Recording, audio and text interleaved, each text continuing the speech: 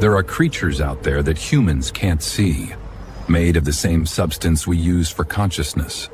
Some call it soul, aura, prana. Whatever the name, they exist. They drift above us, and sometimes they attach, feeding on the same energy we produce. Attachments aren't random. They prefer stress, attention, and emotional heat, like fish riding a warm current. Half the crowd has none. About a quarter carry one, 15% carry two, 5% carry three, and the last 5% carry swarms, up to 10, pulling at thought and sleep until nothing holds.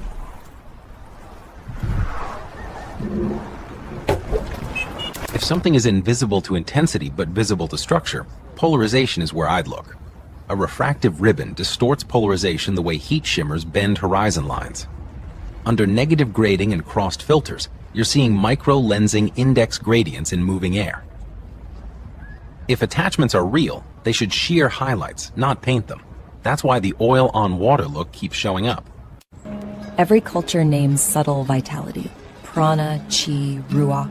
Many describe soul loss, energies that drift or cling, our street footage rhymes with that language ribbons attaching at head or heart, numbers scaling with turmoil. Folklore isn't proof, but it is a map.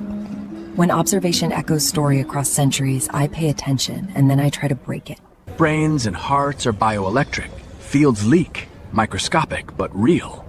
If these ribbons couple to us, I'd expect anchors near cortex and myocardium, then a pulse that matches respiration or heartbeat. We see people with none, some with one or two, and a few with many. It tracks stress and sleep debt, but don't confuse correlation for causation. Parasite or byproduct? That's the experiment. Sightings against stress proxies, sirens, crowd density, traffic horns. Yes, attachments cluster with agitation. But confounders love cities. Heat islands, aerosol plumes, camera angles. Signal exists, so does noise. The rule of thumb holds half with none, a quarter with one, tails for the rest. It's intriguing, not conclusive. Keep filming, tighten the controls.